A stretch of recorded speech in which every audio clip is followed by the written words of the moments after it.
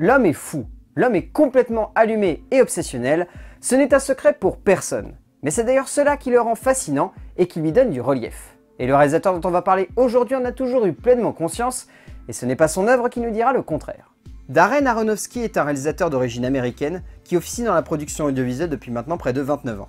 Il est un des piliers fondateurs de toute une génération de cinéphiles, bercé par l'œuvre d'un auteur qui aura longuement questionné le spectateur sur l'idée même d'existence et sur la prise de conscience de notre état d'insecte au cœur d'un monde où finalement, nous ne sommes que les outils d'une autorité supérieure dont on ne dépend pas, mais à laquelle nous sommes malgré nous attachés par un fil invisible qui se nomme la vie et qui se nomme la société.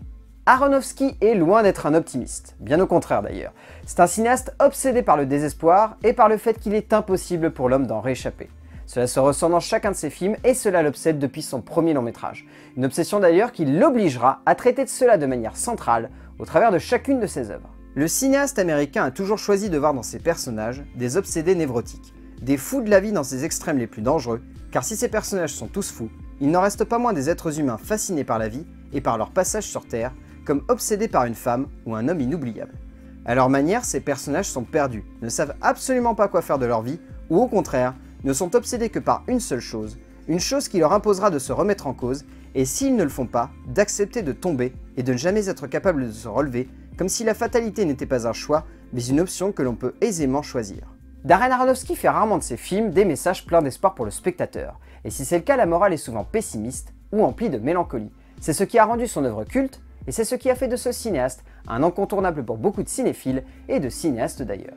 Possédés par cette idée, ils sombrent alors facilement dans un cinéma triste, noir, violent, macabre, où la violence et l'horreur ne sont pas forcément les seules traductions possibles de la fatalité, mais où parfois simplement un choix fatal, une décision prise un peu trop vite, ou la haine de l'autre, forment un chemin semé d'embûches et de finalités faciles.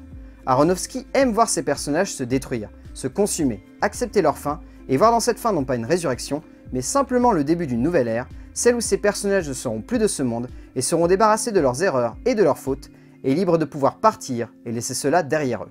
Tristesse, solitude, projection de l'horreur du monde dans sa propre personne, voici les thématiques principales d'un auteur qui voit le monde comme personne. Darren Aronofsky, bien au-delà d'être un cinéaste triste, est avant tout un auteur qui ne voit pas l'espoir possible dans l'homme, mais voit simplement en lui un besoin de projeter ses peurs les plus profondes. La peur d'être incompris des autres, et d'être ainsi marginalisé, la peur de se laisser emporter dans un élan de création et de perdre ainsi tout ce que l'on a, la peur de remonter sur le devant de la scène mais d'être mis au placard comme un has-been, la peur de laisser sa place à d'autres, comme de perdre son importance de cinéaste. Finalement, dans le cinéma de Aronofsky, il y a avant tout du Aronofsky. Il y a dans sa filmographie la projection d'un auteur terrorisé à l'idée de ne plus être capable de faire ce qu'il aime.